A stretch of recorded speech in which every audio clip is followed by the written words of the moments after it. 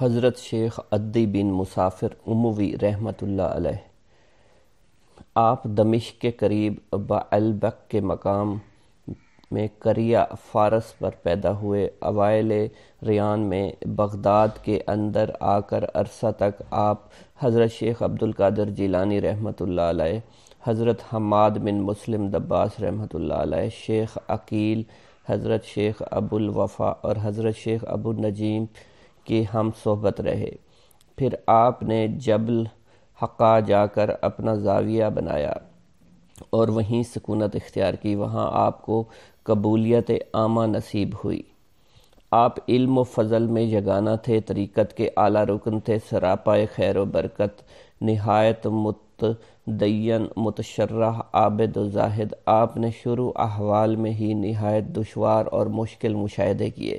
اس لیے آپ کا سلوک اکثر مشائق پر دشوار گزرا کرتا تھا۔ حضور غوثیت ماب رحمۃ اللہ علیہ آپ کی نہایت تعظیم و تکریم کیا کرتے، آپ کے متعلق فرمایا کرتے تھے، اگر نبوت مجاہدہ سے مل سکتی تو بے شک عدی بن مسافر پا لیتے۔ شیخ ابو عبداللہ بیان کرتے ہیں کہ میں شیخ عدی کے پاس پانچ سال رہا۔ اس عرصہ میں میں نے دیکھا کہ جب آپ نماز پڑھتے تو شدت مجاہدہ کی وجہ سے آپ کے سر کے مغز سے ایک ایسی آواز آیا کرتی تھی جیسے خوش قدو میں کنکروں کی آواز آتی ہے۔ آپ جنگلوں، بیابانوں، پہاڑوں اور غاروں میں اکیلے تن تنہا پھر کر عرصہ دراز قسم قسم کے ریاضات اور انواع انواع کے مجاہدات کیا کرتے۔ بیابانوں کے درندے، جنگلوں کے پرندے اور زمین کے کیڑے آپ سے مانوس تھے، کثیر تعداد اولیاء کرام نے آپ سے فخر تلمند حاصل کیا اور بہت سے صاحب احوال آپ سے مستفید ہوئے۔ آپ کا کلام بہت مشہور تھا، چنانچہ اہل حقائق کے متعلق آپ نے فرمایا ہے کہ شیخ وہ ہے کہ اپنے حضور میں وہ تمہیں خاطر جمع رکھے، اپنی غیبت میں وہ تمہیں محفوظ رکھے، اپنے اخلاق و آداب سے وہ تمہاری تربیت کرے، اپنے اشراق سے وہ تمہارے باطن کو منور کرے۔ مرید وہ ہے جو ہر حال میں توازو اختیار کرے فقرا کے ساتھ، انسیت سے، صوفیات کے ساتھ، ادب و حسن اخلاق سے، علماء کے ساتھ، تعمیل ارشاد سے، اہل معرفت کے ساتھ، سکون و وقار سے اور اہل مقامات کے ساتھ توحید سے پیش آئے۔ نیز آپ نے فرمایا، ابدال، خردوش اور توہم و راحت سے نہیں ہوتے، بلکہ عبادات ریاضات اور مجاہدے سے ہوتے ہیں، کیونکہ جو شخص مجاہدات اور ریاضات کی مشقت برداشت کرتا ہے تو اللہ اس کو خود بخود اپنا راستہ بتلا دیا کرتے ہیں۔ کہتے ہیں حضرت شیخ ابو اسرائیل یعقوب بن عبد المقتدر تین متواتر سال تک تن تنہا عراق و عجم کے پہاڑوں پر برہنہ پھرتے رہے۔ حتیٰ کہ آپ کے جسم پر میل کی ایک اور کھال پیدا ہو گئی۔ اس کے بعد آپ کے پاس ایک بھیڑیا آیا، آپ کے جسم کو اس نے چاٹ کر صاف کیا اور پیشاب کر دیا اور پھر چلا گیا۔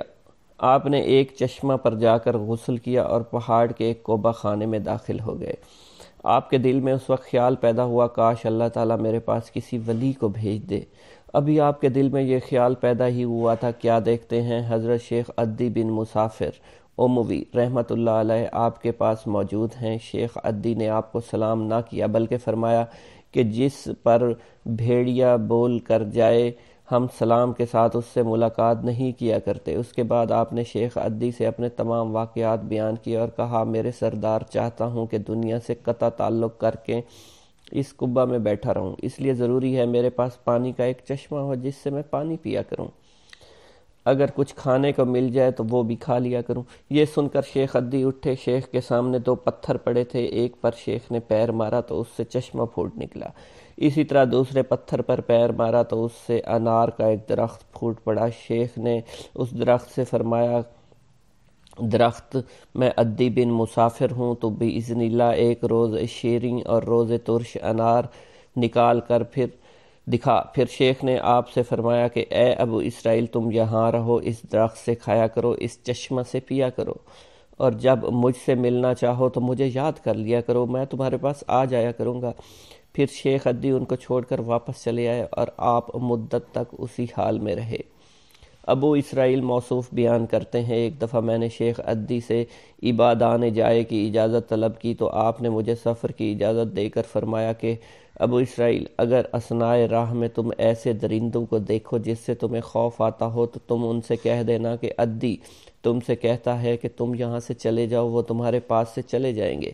اگر تم دریا کی موجوں سے خائف ہو جاؤ، تو ان سے بھی کہہ دینا کہ اے دریا کی متلاطم موجوں، تم کو عدی بن مسافر کہتا ہے کہ ٹھہر جاؤ۔ شیخ ابو اسرائیل کا بیان ہے، جب میں درندوں وغیرہ کو دیکھتا تو جو کچھ آپ نے فرمایا، ان سے کہتے، وہ میرے پاس سے چلے جاتے، پھر میں سمندر میں جہاز پر سوار ہوا۔ جب کبھی سمندر جوش میں آتا، ہم غرق ہونے کو ہوتے، تو میں کہتا، اے سمندر کی متلاطم موجو تم سے شیخ عدی بن مسافر کہتے ہیں کہ ٹھہر جاؤ، میں ابھی پورا کلام نہیں کر پاتا تھا کہ وہ موجیں ساکن ہو جایا کرتی۔ میرا یہ قدم تمام اولیاء کرام کی گردن پر ہے۔ ایک مرتبہ محلہ حلبہ میں اپنے مہمان خانے میں واز فرماتے ہوئے، حضور سیدنا غوث اعظم پر اچانک حالت کشف تاری ہوئی۔ آپ رحمت اللہ علیہ نے فرمایا، میرا یہ قدم ہر ولی اللہ کی گردن پر ہے۔ یہ ارشاد سن کر تمام اولیاء اللہ نے اپنی گردنیں جھکا دیں۔ صلحائے امت نے اس کی توضیح فرمائی ہے۔ کہ آپ رحمت اللہ علیہ کے عہد مبارک اور بعد میں قیامت تک آپ کی عطا کے بغیر ولی اللہ ولایت کے درجے پر فائز نہیں ہو سکتا۔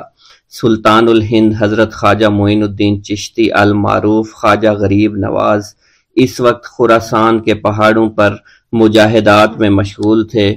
انہوں نے بھی حضور سیدنا غوث اعظم کا ارشاد گرامی سن کر اپنی گردن جھکا دی اور یوں عرض گزار ہوئے آپ کے قدمین شریفین میرے سر اور میرے آنکھوں پر ہیں۔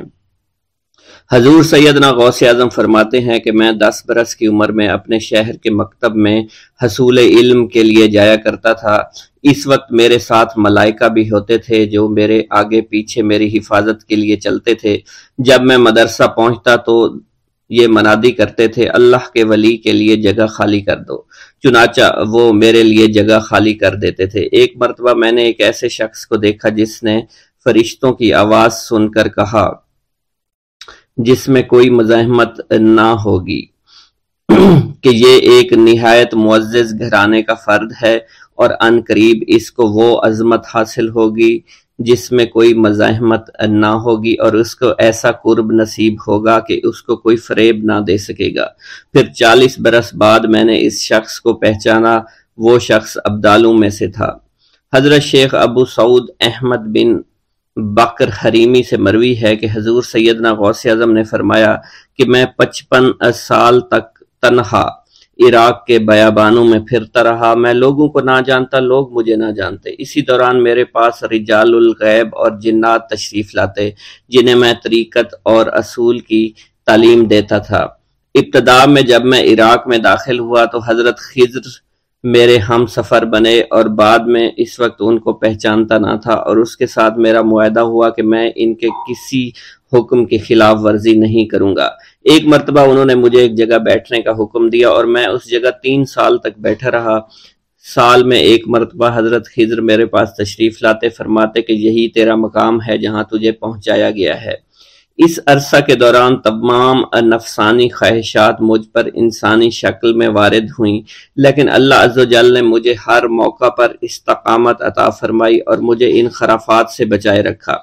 ابتدا میں میرا نفس مجاہدہ کا کوئی طریقہ اختیار کرتا تو میں اس پر قائم ہو جاتا اور کسی چیز کو قبول نہ کرتا تھا۔ ایک طویل مدت تک اپنا گلا گھونٹتے ہوئے میں مدائن کے جنگلوں میں مجاہدات میں مشغول رہا۔ حضور سیدنا غوث اعظم فرماتے ہیں کہ میں نے اپنے نفس کو مختلف مجاہدوں، مختلف ریاستوں اور مختلف مشقتوں میں ڈالے رکھا۔ ایک سال تک میں گری ہوئی چیزیں اٹھا کر کھاتا رہا، دوسرے سال پانی پر گزارا کیا اور تیسرے سال نہ میں نے کچھ کھایا، نہ پیا اور نہ ہی سویا۔ ایک مرتبہ شدید سردی کی وجہ سے میں ایوان کسرا کے کھنڈرات میں سویا تو رات بھر میں چالیس مرتبہ طبیعت خراب ہوئی۔ حضور سیدنا غوث اعظم فرماتے ہیں، ہر سال ایک بزرگ آتے اور وہ مجھے جبہ دے کر چلے جاتے۔ اسی طرح میں نے بے شمار طریقوں سے دنیا اور نفس سے چھٹکارا پانے کی کوشش کی۔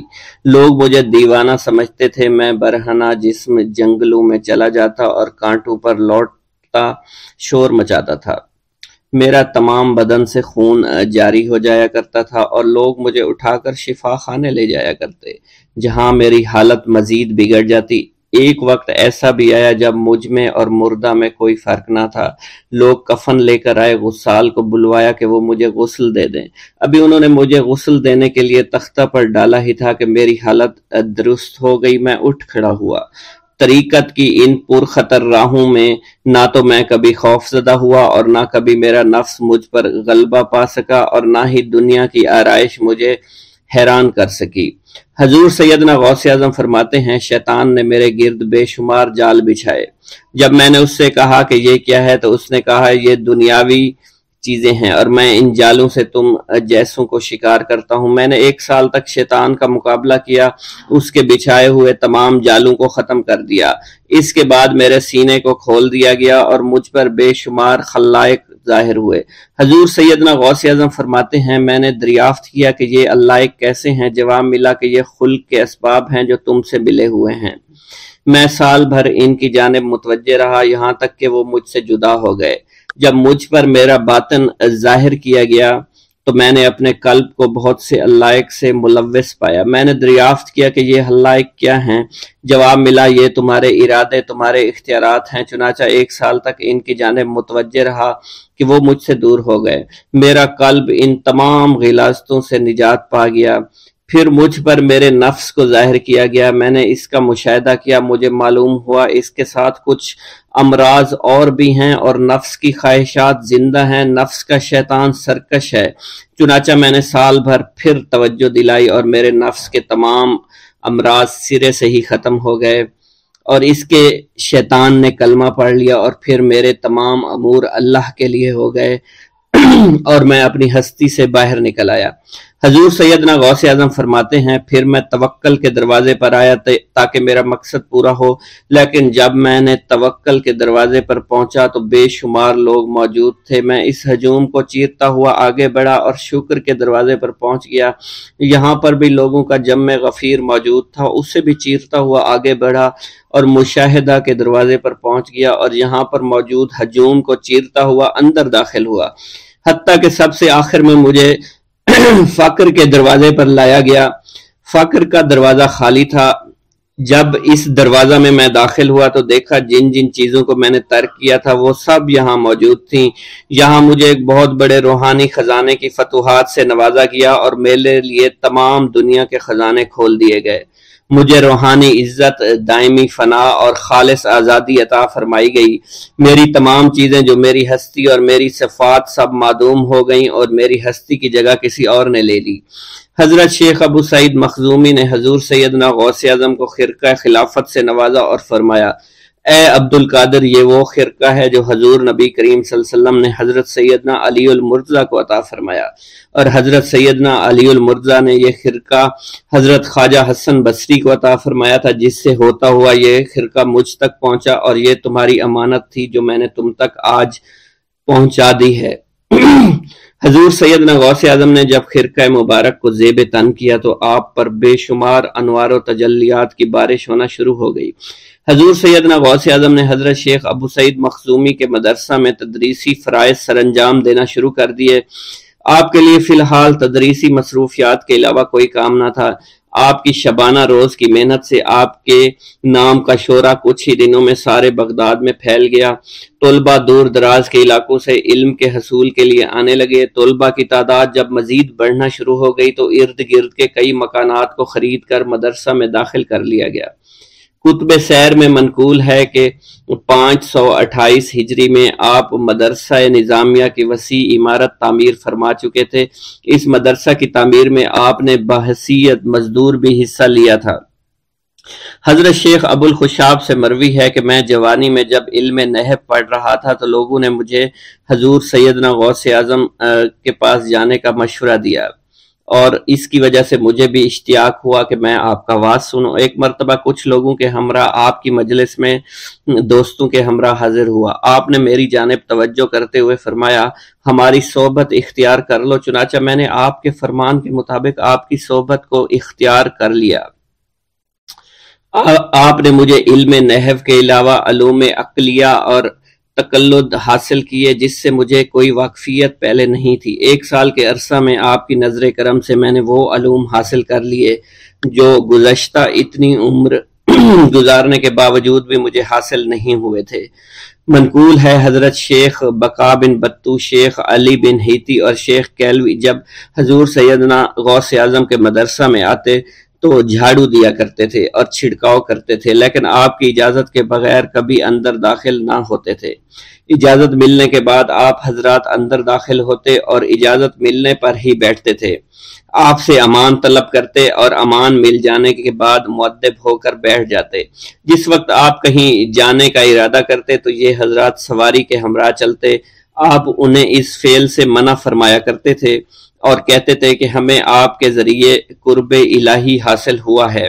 حضرت شیخ محمد قائل الادنا سے مروی ہے کہ ایک مرتبہ حضور سیدنا غوث اعظم سے دریافت کیا گیا کہ آپ کی بزرگی اور عظمت کا راز کیا ہے۔ آپ نے فرمایا کہ میں کبھی جھوٹ نہیں بولتا اور کبھی کسی سے کذب، بیانی نہیں کرتا۔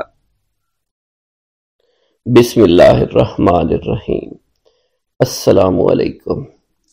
حضور سیدنا غوث اعظم فرماتے ہیں، میں دس برس کی عمر میں اپنے شہر کے مکتب میں حصول علم کے لیے جایا کرتا تھا۔ اس وقت میرے ساتھ ملائکہ بھی ہوتے تھے جو میرے آگے پیچھے میری حفاظت کی غرض سے چلتے تھے۔ جب میں مدرسہ پہنچتا تھا تو وہ بار بار منادی کرتے تھے، اللہ کے ولی کے لیے جگہ خالی کر دو۔ چنانچہ وہ میرے لیے جگہ خالی کر دیتے تھے۔ ایک مرتبہ میں نے ایک ایسے شخص کو دیکھا جس نے فرشتوں کی آواز سن کر کہا کہ یہ نہایت معزز گھرانے کا فرد ہے اور ان قریب اس کو وہ عظمت اور بزرگی حاصل ہوگی جس میں کوئی مزاحمت نہ ہوگی، اس کو ایسا قرب نصیب ہوگا کہ اس کو کوئی فریب نہ دے سکے گا۔ پھر چالیس برس بعد میں نے اس شخص کو پہچانا، وہ شخص عبدالوں میں سے تھا۔ حضرت شیخ ابو ابو سعود احمد بن ابی بکر سے مروی ہے۔ حضور سیدنا غوث اعظم نے فرمایا، میں پچیس سال تک تنہا عراق کے بیابانوں میں پھرتا رہا۔ میں لوگوں کو نہ جانتا تھا، لوگ مجھے نہیں جانتے تھے۔ اسی دوران میرے پاس رجال الغیب اور جنات تشریف لائے، جنہیں میں طریقت اور رسول اللہ کی تعلیم دیا کرتا تھا۔ ابتدا میں جب میں عراق میں داخل ہوا تو حضرت خضر میرے ہم سفر تھے اور میں انہیں اس وقت سے پہچانتا نہیں تھا۔ ان کے ساتھ میرا معاہدہ ہوا کہ میں ان کے کسی حکم کی خلاف ورزی نہیں کروں گا۔ ایک مرتبہ انہوں نے مجھے ایک جگہ بیٹھنے کا حکم دیا، میں اسی جگہ تین سال بیٹھا رہا۔ سال میں ایک مرتبہ حضرت خضر میرے پاس تشریف لاتے اور فرماتے، یہی تیرا مقام ہے جہاں تجھے پہنچایا گیا ہے۔ اس عرصہ کے دوران تمام نفسانی خواہشات مجھ پر انسانی شکل میں وارد ہوئیں، لیکن اللہ نے مجھے ہر موقع پر استقامت عطا فرمائی اور مجھے ان خرافات سے بچائے رکھا۔ ابتدا میں میرا نفس مجاہدہ کا کوئی طریقہ اختیار کرتا تو میں اس پر قائم ہو جایا کرتا تھا اور کسی چیز کو قبول نہیں کرتا تھا۔ ایک طویل مدت تک اپنا گلا گھونٹتے ہوئے میں نے مدائن کے جنگلوں میں مجاہدات میں مشغول رہا۔ حضور سیدنا غوث اعظم فرماتے ہیں، میں نے اپنے نفس کو مختلف مجاہدوں اور ریاستوں اور مشقتوں میں ڈالے رکھا۔ ایک سال تک میں گری ہوئی چیزیں اٹھا کر کھاتا رہا، اسی دوسرے سال میں صرف پانی پر گزارا کرتا رہا۔ اور تیسرے سال میں نے کچھ نہ کھایا اور نہ پیا نہ ہی سویا۔ ایک مرتبہ شدید سردی کی وجہ سے میں ایوان کسرا کے کھنڈرات میں سویا تو رات بھر میں چالیس مرتبہ احتلام ہوا۔ میں نے ہر مرتبہ دریائے دجلہ پر جا کر غسل فرمایا، پھر نیند کے خوف سے محل کے اوپر ایک ویران جگہ پر چڑھ گیا اور وہاں دو سال تک قیام کیا۔ حتیٰ کہ سردی کے سوا کوئی شے کھانے کو میسر نہیں تھی۔ حضور سیدنا غوث اعظم فرماتے ہیں، ہر سال ایک بزرگ آتے اور وہ مجھے اونی جبہ دے کر چلے جاتے۔ اسی طرح میں نے بے شمار طریقوں سے دنیا اور نفس سے چھٹکارا حاصل کرنے کی کوشش کی۔ لوگ مجھے دیوانہ سمجھتے تھے، میں برہنہ جسم جنگلوں میں چلا جاتا، کانٹوں پر لوٹا، شور مچایا کرتا، میرے تمام بدن سے خون جاری ہو جایا کرتا۔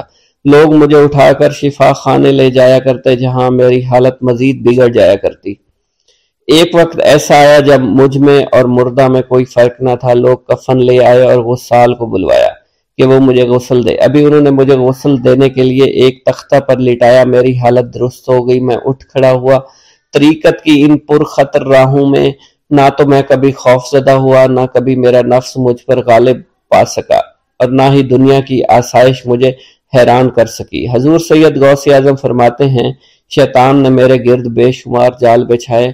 جب میں نے ان سے کہا یہ کیا ہے، اس نے کہا یہ دنیاوی علائشیں ہیں اور میں ان جالوں میں سے تم لوگوں کا شکار کیا کرتا ہوں۔ میں نے ایک سال تک شیطان کا مقابلہ کیا، اس کے بچھائے ہوئے تمام جالوں کو ختم کیا۔ اس کے بعد میرے سینے کو کھول دیا گیا اور مجھ پر بے شمار خلائق ظاہر ہوئے۔ حضور سیدنا غوث اعظم فرماتے ہیں، میں نے دریافت کیا کہ یہ اللہ ایک کیسے ہے؟ جواب ملا، یہ خلق کے اسباب ہیں جو تم سے ملے ہوئے ہیں۔ میں سال بھر ان کی جانب متوجہ رہا، یہاں تک کہ وہ مجھ سے جدا ہو گئے۔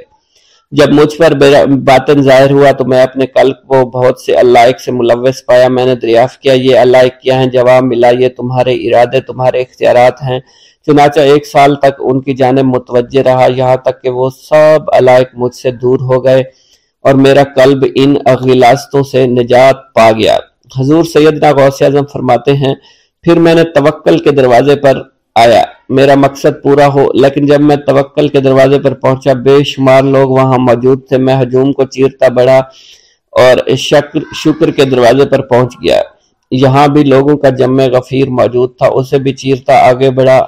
اور مشاہدہ کے دروازے پر پہنچ گیا۔ یہاں پر موجود ہجوم کو بھی چیرتا ہوا، اندر داخل ہوا، حتیٰ کہ سب سے آخر میں مجھے فاقر کے دروازے پر لا دیا گیا۔ فقر کا دروازہ خالی تھا۔ جب میں اس دروازے میں داخل ہوا تو دیکھا جن جن چیزوں کو میں نے ترک کیا تھا، وہ سب یہاں موجود تھی۔ یہاں مجھے ایک بہت بہت بڑے روحانی خزانے کی فتوحات سے نوازا گیا۔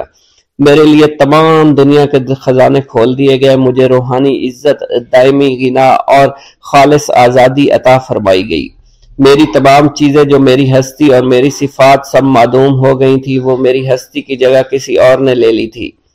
حضرت شیخ ابو سعید مخزومی نے حضور سیدنا غوث اعظم کو خرقہ خلافت سے نوازا اور فرمایا اے عبد القادر یہ وہ خرقہ ہے جو حضور نبی کریم صلی اللہ علیہ وسلم نے سیدنا علی المرتضی کو عطا فرمایا۔ سیدنا علی المرتضی نے یہ خرقہ خواجہ حسن بصری کو عطا فرمایا، جس سے ہوتا ہوا یہ مجھ تک پہنچا۔ اور یہ تمہاری امانت تھی جو میں نے تم تک پہنچا دی۔ حضور سیدنا غوث اعظم نے جب خرقہ مبارک کو زیب تن کیا تو آپ پر بے شمار انوار و تجلیات کی بارش ہونا شروع ہو گئی۔ بسم اللہ الرحمن الرحیم۔ ناظرین گرامی، روایت میں آتا ہے کہ قطب الاقتاب حضرت شیخ عبد القادر جیلانی، الحسنی والحسینی الجیلانی، حضرت غوث اعظم شیخ عبد القادر جیلانی رحمت اللہ علیہ۔ جب نماز ادا کرتے تو بہت زار و قطار رویا کرتے یعنی گریا زاری کیا کرتے تھے۔ روتے روتے آپ کی ہچکی بن جایا کرتی تھی۔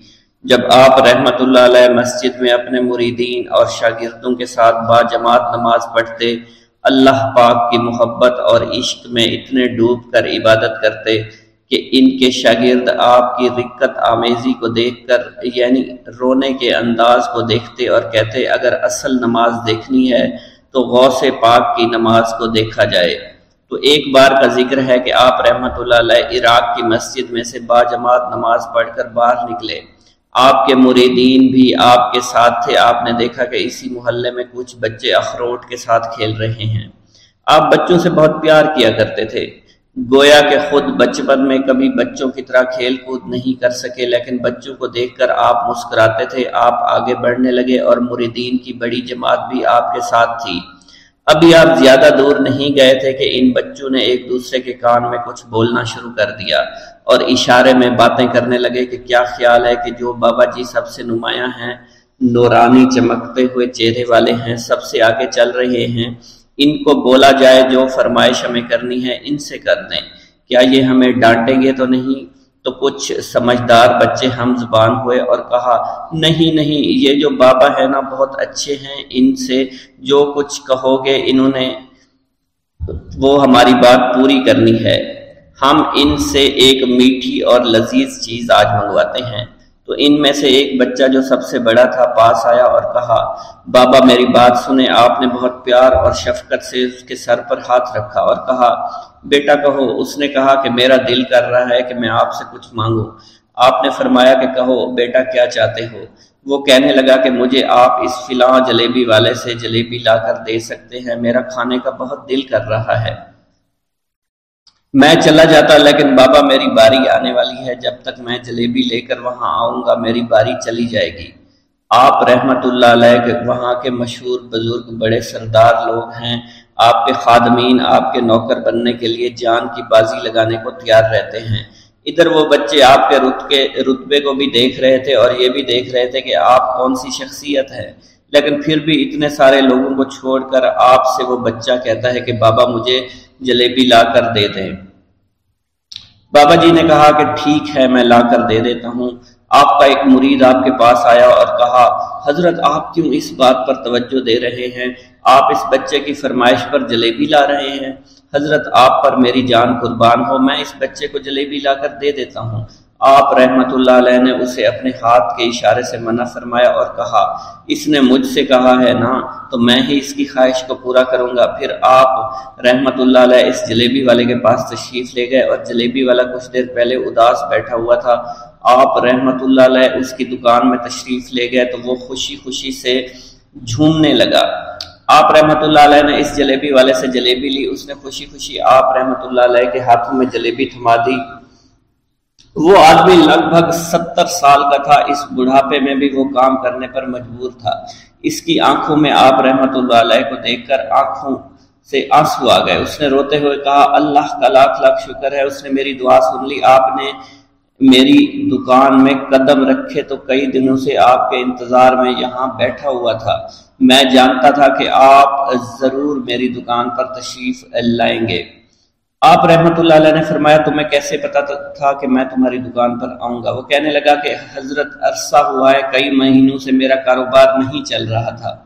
میرا کاروبار دن بدن ٹھپ ہوتا جا رہا تھا۔ فاقوں تک کی نوبت آ گئی تھی۔ مجھے اپنی فکر نہیں تھی، لیکن اپنے چھوٹے چھوٹے بچوں کی تھی۔ اس بڑھاپے میں اللہ تعالیٰ نے اولاد تو دی، لیکن ان کی ان کو پالنے کا کوئی بندوبست نہیں ہو رہا تھا۔ میں نے اپنی اس پریشانی کا ذکر کسی سے کیا تو اس نے کہا کہ عراق کے ایک شہر میں چلے جاؤ، وہاں پر کوئی ایک فقیر ہے، اس سے دعا کراؤ۔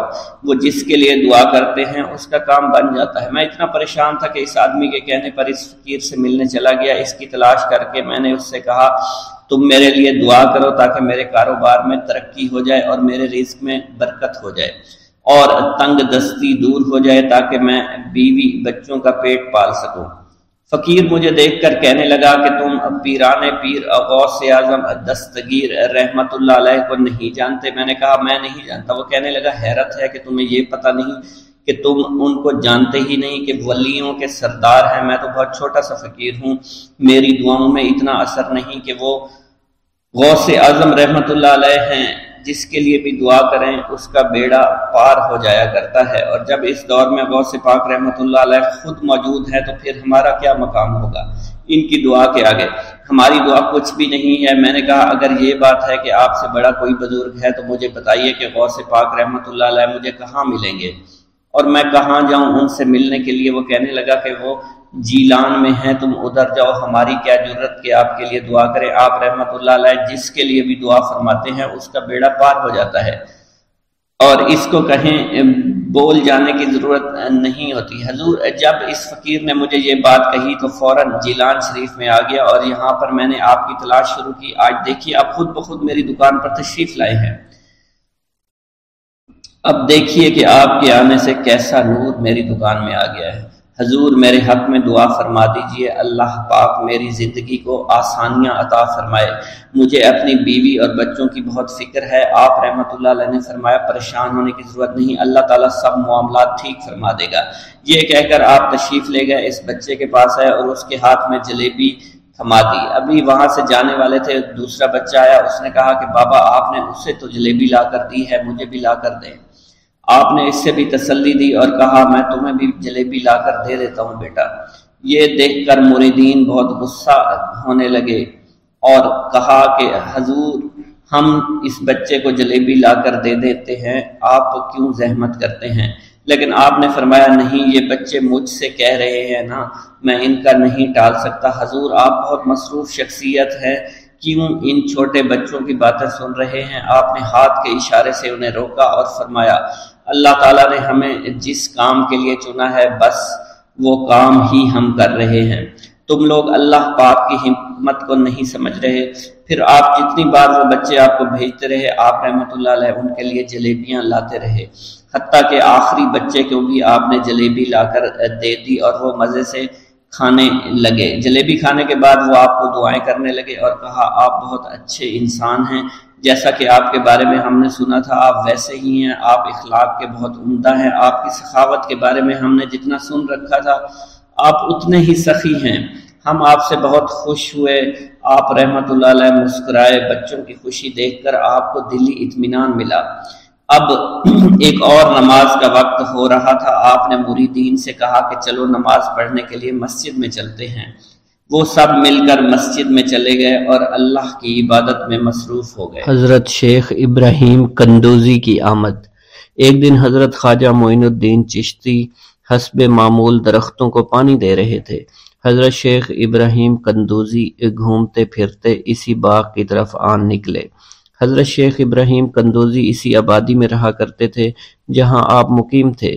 اور وہ اللہ عز و جل کے عشق میں اس قدر ڈوبے ہوئے تھے کہ ان پر عشق حقیقی کی وجہ سے اکثر خود فراموشی کی حالت تاری رہتی تھی۔ آبادی کے بچے اور بوڑھے انہیں مجذوب کہا کرتے تھے اور قدر کی نگاہ سے دیکھا کرتے تھے۔ جس وقت آپ کی نظر حضرت شیخ ابراہیم کندوزی پر پڑی تو سب کام چھوڑ کر آپ ان کی جانب متوجہ ہو گئے۔ آگے بڑھ کر خوش آمدید کہا اور دست مبارک کو بوسہ دیا۔ پھر نہایت عزت اور احترام کے ساتھ ایک سایہ دار درخت کے نیچے بٹھایا۔ ان دنوں انگوروں کا موسم تھا، کچھ پکے ہوئے خوشے بیلوں سے اتار کر آپ کی خدمت میں پیش کیے اور خود با ادب ہو کر دو زانوں بیٹھ گئے۔ حضرت شیخ ابراہیم کندوزی کو حضرت خواجہ معین الدین چشتی کی مہمان نوازی کا انداز بہت پسند آیا۔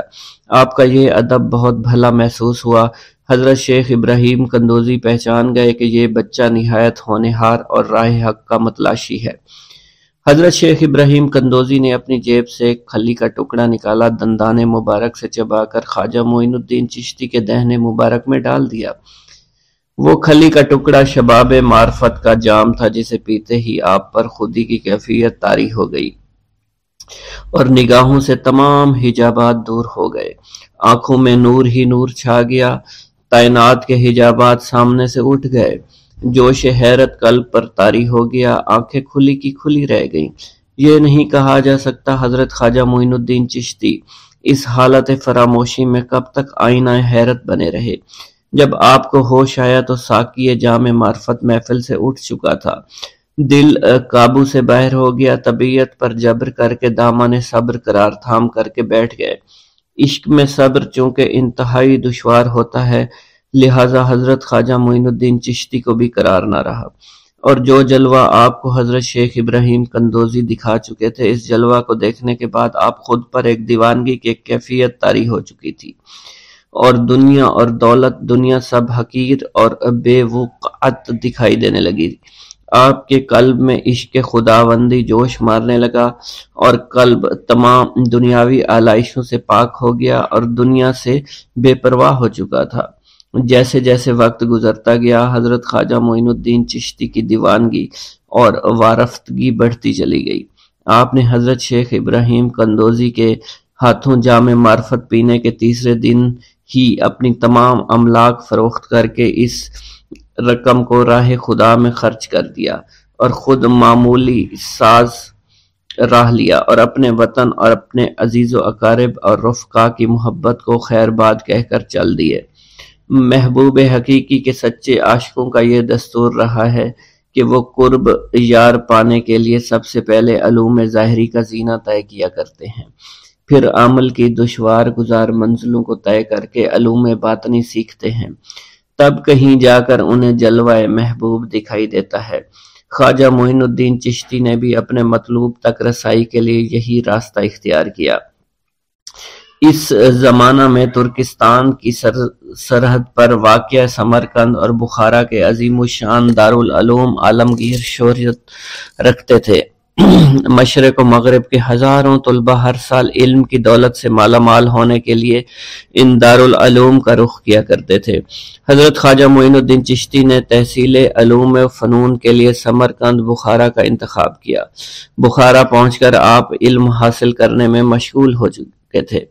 اگرچہ حضرت خواجہ معین الدین چشتی کی صغیر سنی کی تعلیم کے متعلق کسی سوانح نگار نے قلم کو جنبش نہیں دی کہ والدین نے آپ کو گھر میں ابتدائی تعلیم دی تھی، مگر سادات خوراسان کے مقتدر خاندانوں سے تعلق اور عارف و کامل صاحب فضل و کمال باپ کی گود میں پرورش پانے والے۔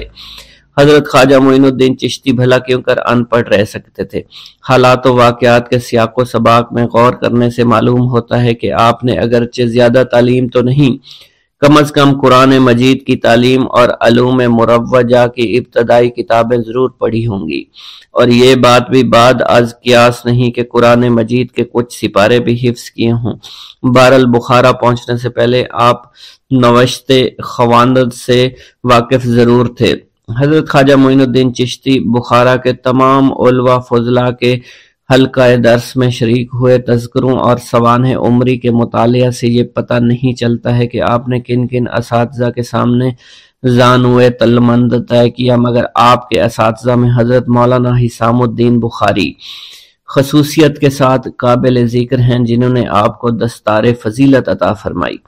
حضرت مولانا حسام الدین بخاری کی دستگاہ سے آپ نے علوم ظاہری کی تکمیل فرمائی۔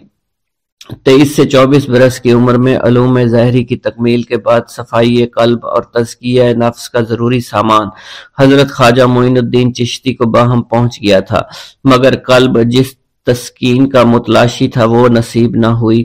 اور جس محبوب کو جی بھر کر دیکھنے کی آرزویں دل میں چوٹکیاں لے رہی تھی، اس تک ابھی رسائی نہیں ہوئی تھی۔ عشق اور مشک چھپائے نہیں چھپتا۔ عشق کی آگ حضرت خواجہ معین الدین چشتی کے تن اور من کو جلا رہی تھی۔ تعلیم کی ہوا نے اس آگ کے شولوں کو اور بھی تیز کر دیا۔ محبت کا ذوق بڑھ رہا تھا۔ عشق کے جذبات بھڑک رہے تھے۔ بالآخر جب بے قراری جنون کی حد کو پہنچی، آپ جانب عراق روانہ ہوئے۔ قصبہ سبحان پہنچ کر حضرت شیخ نجم الدین کبرا سے ملاقات ہوئی اور پندرہ دن آپ نے حضرت شیخ نجم الدین کبرا کے ہاں قیام فرمایا۔ سبحان سے روانہ ہو کر سنجان سے روانہ ہو کر حضرت خواجہ معین الدین چشتی بغداد شریف روانہ ہو گئے۔ ان دنوں حضور سیدنا غوث اعظم قصبہ جبل میں تشریف فرما تھے۔ یہ قصبہ کوہ جودی کے دامن میں آباد تھا، جہاں طوفان نوح کے وقت حضرت نوح کی کشتی آ کر رکی تھی۔ آپ حضور سیدنا غوث اعظم کی صحبت اور زیارت سے مشرف ہوئے۔ اس وقت آپ کی ابتدائی حالت تھی۔ حضور سیدنا غوث اعظم نے آپ کے حق میں دعائیں خیر فرمائی۔ اس وقت آپ کی ابتدائی حالت تھی۔ حضور سیدنا غوث اعظم نے آپ کے حق میں دعا فرمائی۔ انہوں نے بشارت دی کہ آپ مقتدائے روزگار ہوں گے۔ خلق اللہ آپ سے فیض یاب ہو گئی۔ آپ نے حضور سیدنا غوث اعظم کے پاس کچھ عرصہ قیام کیا اور واپس تشریف لے گئے۔ بھوک اللہ کے خزانوں میں سے ایک خزانہ ہے۔ حضرت شیخ ابو محمد فرماتے ہیں، ایک روز میں حضور سیدنا غوث اعظم کی خدمت میں ایسی حالت میں حاضر ہوا کہ فاقہ سے تھا اور میرے اہل و عیال بھی کئی دنوں سے بھوکے تھے۔ میں نے آپ کی خدمت میں سلام عرض کیا تو آپ نے میری دلی کیفیت کو بھانپتے ہوئے فرمایا۔ اے جونی بھوک اللہ تعالیٰ کے خزانوں میں سے ایک خزانہ ہے۔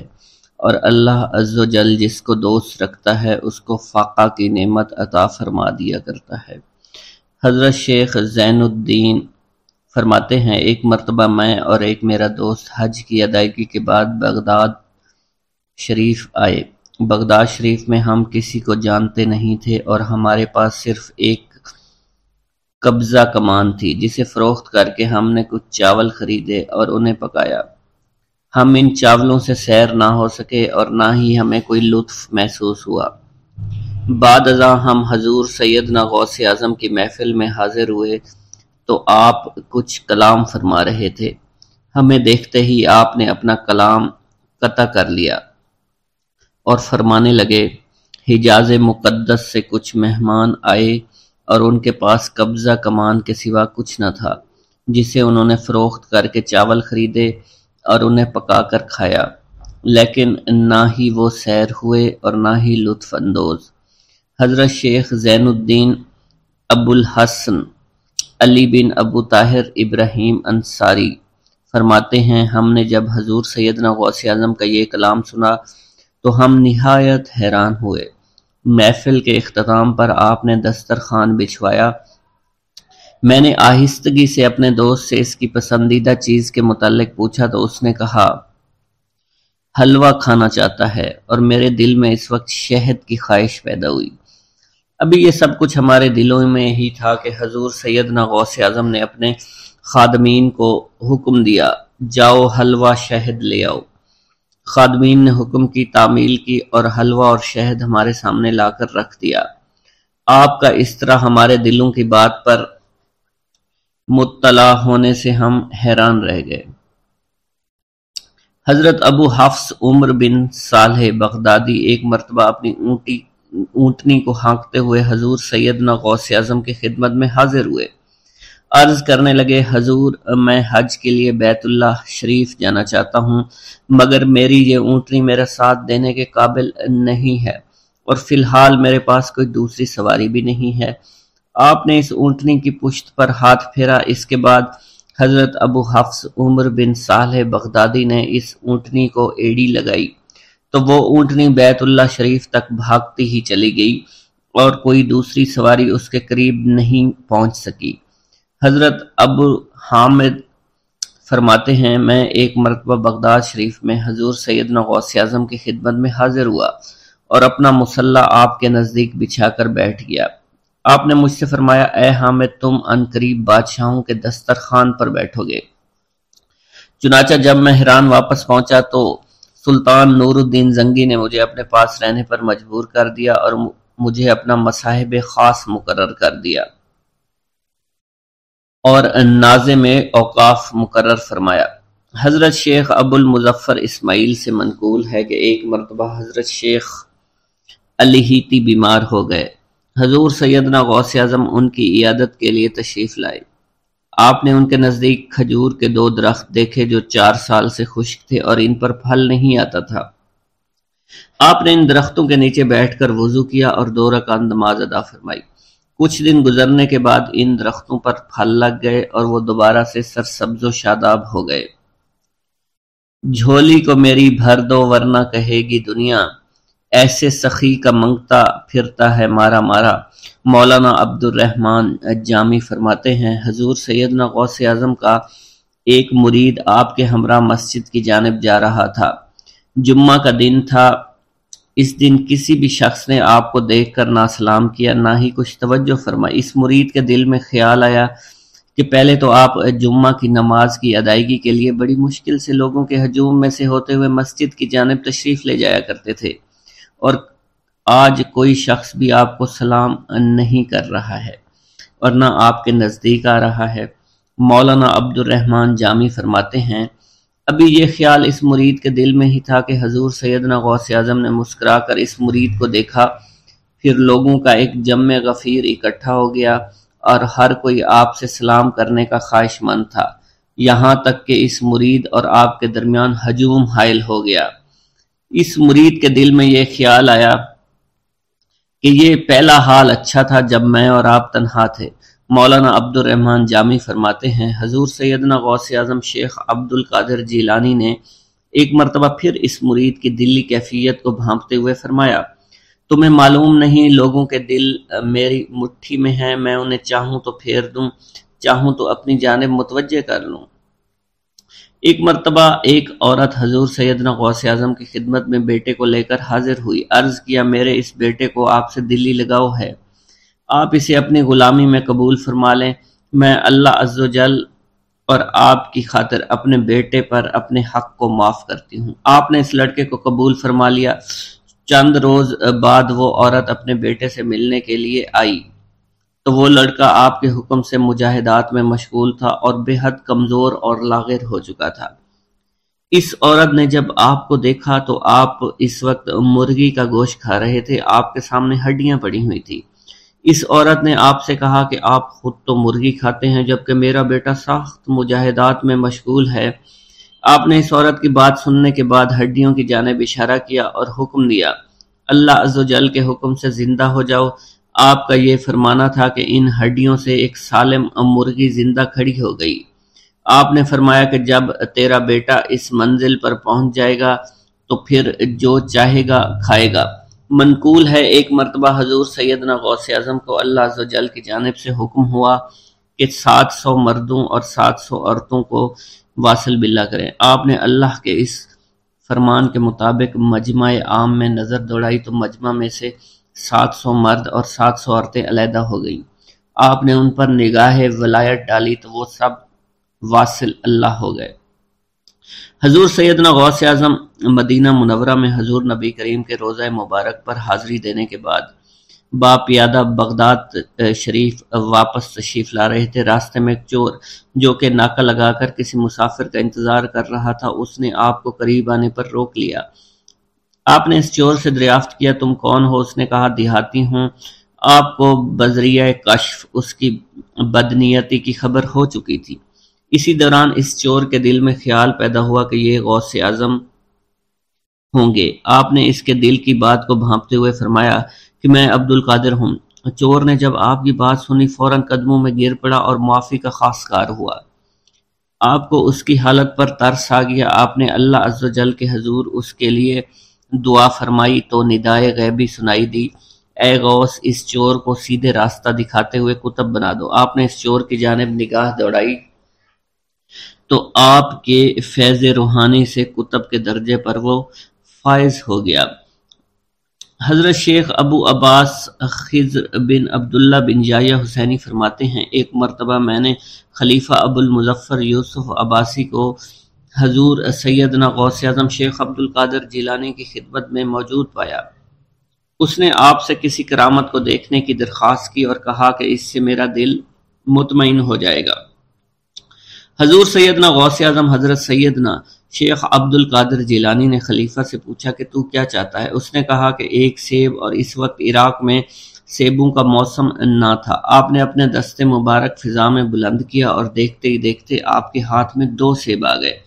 آپ نے ایک سیب ابو المظفر کو دیا اور دوسرا خود رکھ لیا۔ ابو المظفر نے جب اپنا سیب چیرا تو اس میں سے کیڑا نکل آیا۔ اس نے جب اپنا سیب چیرا تو یہ اندر سے سفید تھا، اس میں سے کستوری کی خوشبو آ رہی تھی۔ ابو المظفر نے وجہ دریافت کی تو آپ نے فرمایا، اس سیب میں سے کیڑا اس وجہ سے نکلا کیونکہ اس سیب کو ظالم کا ہاتھ لگا ہوا تھا۔ حضرت شیخ ابو محمد سے مروی ہے۔ ایک مرتبہ میں حضور سیدنا غوث اعظم کی خدمت میں بغداد شریف حاضر ہوا۔ کچھ دنوں تک آپ کے ہاں قیام پذیر رہا اور روحانی فیوز و برکات سے مالا مال ہوا۔ بعد ازاں جب میں واپس اپنے ملک مصر روانہ ہونا لگا تو آپ نے مجھ سے فرمایا کہ کبھی کسی سے کوئی چیز مت مانگنا۔ پھر آپ نے اپنی انگشت شہادت میرے منہ میں ڈالی اور فرمایا کہ اسی اچھی طرح چوسو۔ چنانچہ میں نے آپ کے فرمان کے مطابق ایسا ہی کیا۔ جب میں آپ سے اجازت لینے کے بعد واپس اپنے ملک مصر روانہ ہوا، تو بغداد شریف سے مصر تک کی طویل مسافت کے دوران مجھے کچھ بھوک محسوس نہیں ہوئی اور میں جوں جوں آگے بیٹھتا رہا، اپنے جسم میں توانائی کو پہلے سے زیادہ پاتا۔ بسم اللہ الرحمن الرحیم۔ منقول ہے کہ حضور سیدنا غوث اعظم کے زمانہ میں ایک مقرب کی ولایت سلب کر لی گئی۔ سب چھوٹے بڑے اس کو حکارت کی نگاہ سے دیکھنے لگے۔ اس نے تین سو ساٹھ اولیاء اللہ سے التجا کی کہ وہ اس کے حق میں دعا فرمائیں۔ لیکن اس کا نام لوہے محفوظ پر اشتیاق کی فہرست میں لکھ دیا گیا۔ ان اولیاء اللہ نے اس کو بتایا کہ تم کامیاب نہیں ہوں گے۔ اس کے چہرے کا رنگ سیاہ پڑ گیا۔ اس شخص نے حضور سیدنا غوث اعظم شیخ عبد القادر جیلانی کی خدمت میں حاضر ہو کر دعا کی درخواست کی۔ آپ نے فرمایا، تم اللہ عز و جل کی بارگاہ میں مردود ہو گئے ہو، مگر میں تمہیں اللہ کے اذن میں مقبول بنا سکتا ہوں۔ پھر حضور سیدنا غوث اعظم نے اس کے لیے بارگاہ الہی میں دعا فرمائی۔ تو غیب سے ندا آئی کیا تمہیں معلوم ہے کہ تم سے پہلے بھی تین سو ساٹھ اولیاء اللہ اس کے لیے سفارش کر چکے ہیں؟ لیکن اس کا نام لوہے محفوظ پر اشتیاق کی فہرست میں لکھا جا چکا ہے۔ یا الہی، تو مردود کو مقبول مقبول کو مردود بنانے پر قادر ہے۔ اگر تیری منشا یہی ہے، تو نے اس کو مقبول بنانے کے لیے مجھ سے دعا کیوں کروائی؟ غیبی ندائی اے عبد القادر اسے میں نے تمہارے سپرد کیا، تم اسے جو چاہے بنا دو۔ چنانچہ آپ کی دعا سے وہ پھر سے بارگاہ الہی میں مقبول ہو گیا۔ حضرت شیخ ابو صالح سے منقول ہے۔ حضرت شیخ ابو مدین مغربی نے مجھے، حضور سیدنا غوث اعظم شیخ عبد القادر جیلانی کی خدمت میں بغداد فقر کی تعلیم کے لیے بھیجا۔ آپ نے مجھے بیس دن تک اپنے خلوت خانہ کے دروازہ پر بٹھائے رکھا۔ اور بیس روز گزرنے کے بعد مجھے قبلہ روح ہونے کا حکم دیا گیا۔ جب میں قبلہ روح ہو گیا، آپ نے فرمایا، اے ابو صالح، اس طرف دیکھو۔ چنانچہ میں نے اس جانب دیکھا تو آپ نے فرما، فرمایا، کیا دیکھ رہے ہو؟ میں نے عرض کیا، بیت اللہ شریف میری نگاہوں کے سامنے ہے، آپ نے مجھے حکم دیا کہ اب مغرب کی سمت دیکھو۔ میں نے اپنا چہرہ مغرب کی جانب کیا تو آپ نے فرمایا کہ اب کیا دیکھ رہے ہو؟ میں نے عرض کیا کہ میں اپنے مرشد پاک حضرت ابو مدین کو دیکھ رہا ہوں۔ ایک مرتبہ سنان نامی عیسائی پادری نے حضور سیدنا غوث اعظم کی محفل میں حاضر ہو کر سلام عرض کیا۔ حاضرین کھڑے ہو کر بیان دیا کہ میں یمن کا رہنے والا ہوں، میں نے ارادہ کیا کہ میں اسلام قبول کروں گا۔ اسی دوران میرے دل میں خیال پیدا ہوا، میں اس دور کی سب سے بہترین شخصیت کے دستے مبارک پر کلمہ پڑھوں۔ اسی سوچ کے دوران مجھے نیند آ گئی۔ خواب میں مجھے حضور سیدنا عیسیٰ کی زیارت نصیب ہوئی۔ آپ علیہ السلام نے مجھ سے ارشاد فرمایا، بغداد چلے جاؤ، شیخ عبد القادر کے دستے حق پر اسلام قبول کرو۔ کیونکہ اس وقت وہ روئے زمین پر تمام لوگوں میں افضل اور اعلیٰ ہیں۔ حضرت شیخ عمر الحقیمانی سے منقول ہے۔ ایک مرتبہ حضور سیدنا غوث اعظم کی خدمت میں تیرہ لوگ دائرہ اسلام میں داخل ہونے کے لیے حاضر ہوئے۔ ان لوگوں نے بیان کیا کہ ہم عرب کے عیسائی ہیں اور ہم نے کلمہ پڑھنے کا ارادہ کر لیا ہے۔ ابھی یہ سوچ ہی رہے تھے کہ کس مرد کامل کے دستے حق پر کلمہ پڑھیں گے۔ ہمیں حاطف غیب سے آواز سنائی دی کہ بغداد جا کر شیخ عبد القادر جیلانی کے دستے مبارک پر کلمہ پڑھو۔ حضرت شیخ زین الدین ابو الحسن علی بن ابی طاہر سے مروی ہے، فرماتے ہیں، میں نے حضور سیدنا غوث اعظم سے علم حاصل کیا۔ اللہ عز و جل نے مجھے ایک سال میں اتنا علم دیا کہ دوسروں کو وہ علم بیس سال میں بھی نصیب نہ ہوا ہوگا۔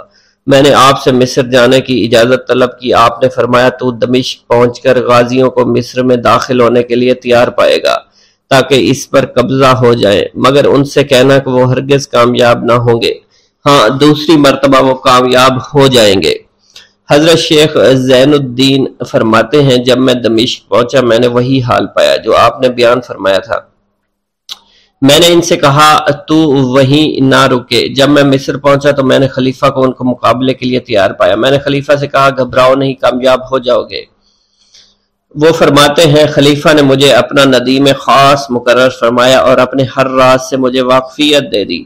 پھر دوسری مرتبہ غازی آئے، انہوں نے مصر پر قبضہ کر لیا۔ مجھے حضور سیدنا غوث کے مطابق، قول کے مطابق ہر ایک سے ڈیڑھ لاکھ دینار ملے۔ مجھے مصر میں ہر خاص و عام میں مقبولیت حاصل ہوئی اور بے شمار لوگ میرے واس سے مستفید ہونے لگے۔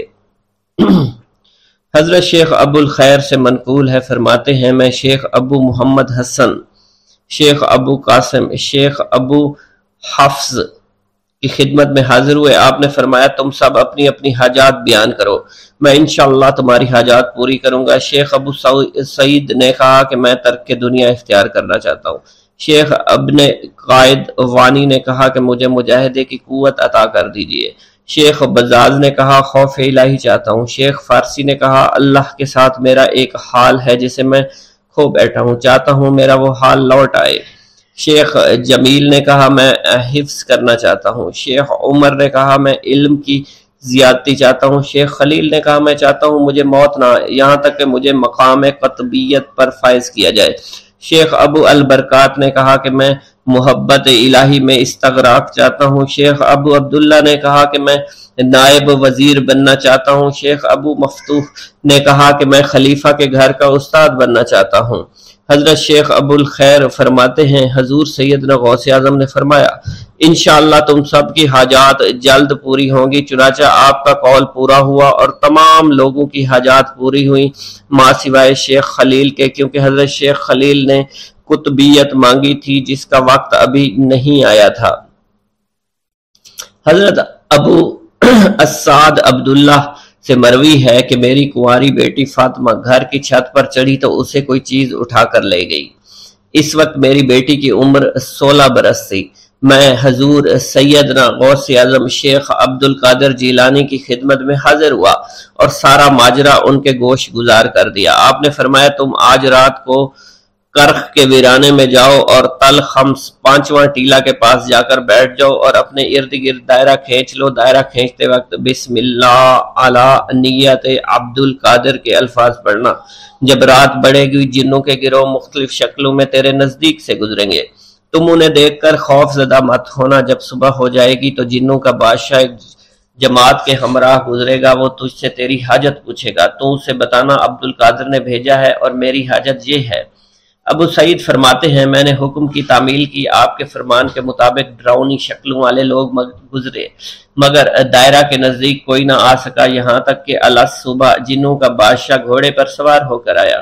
اس کے ساتھ ایک کثیر جماعت بھی تھی۔ اس نے مجھ سے کہا، میری حاجت پوچھی۔ میں نے اسے حضور سیدنا غوث اعظم کا پیغام پہنچاتے ہوئے کہا اور اپنی حاجت بیان کی۔ میری بات سن کر وہ بادشاہ گھوڑے سے اترا، زمین کو بوسا دیتے ہوئے دائرہ کے کنارے بیٹھ گیا۔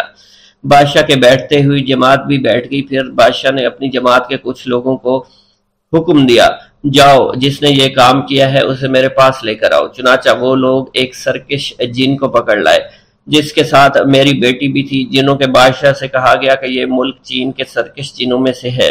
بادشاہ نے اس جن کو مخاطب کرتے ہوئے کہا کہ تمہیں کتب وقت کے قدموں کے نیچے سے لڑکی اٹھانے کی ضرورت کیوں کر پیش ہوئی؟ اس سرکش جن نے کہا کہ میں اس لڑکی پر عاشق ہو گیا تھا۔ بادشاہ جن نے اس سرکش جن کو سر قلم کرنے کا حکم دیا اور میری بیٹی مجھے واپس لوٹا دی۔ میں نے بادشاہ جن سے کہا کہ تم نے حضور سیدنا غوث اعظم کا حکم بجا لانے میں کوئی کسر نہ چھوڑی۔ بادشاہ جن نے کہا کہ وہ گھر بیٹھے ہم جیسے سرکشوں کو دیکھ لیتے ہیں۔ خواہ کتنی ہی دور کیوں نہ بیٹھے ہوں۔ جب اللہ عز و جل کوئی کتب مقرر کرتا ہے تو اسے جن و انس پر قدرت عطا فرما دیتا ہے۔